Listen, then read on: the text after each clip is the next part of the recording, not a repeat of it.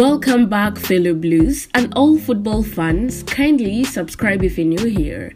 So, the Blues will return at Stamford Bridge after a dramatic 1 4 away win against Tottenham. Mauricio Pochettino will face Pep Guardiola's side at home to make his first match for the Blues against Man City. Cole Palmer and Raheem Sterling will also start for the Blues against their former team, as they have been important to the club's performance in the recent days. Enzo Fernandez will start after after him getting a minor knock in the Tottenham match, but he trained with the full squad and will be ready for the fight.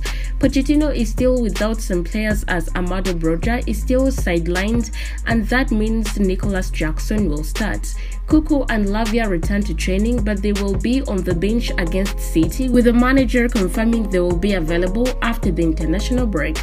Chelsea have lost in their last five meetings with Man City, and Pochettino will be looking ahead to make wonders tonight against City. Chelsea will continue with Robert Sanchez in goal, but a change might be seen in the defense position after players have now returned from injuries. Captain Reece James, Thiago Silva, Levi Colwill, Will and Marc Cucurella in the back four faced Tottenham, but a change is expected with Benoit Badiashile now available. The middle of Enzo Fernandez, Conor Gallagher, and Moises Caicedo is likely to continue. The front three of Cole Palmer, Raheem Sterling, and Nicolas Jackson is likely to continue.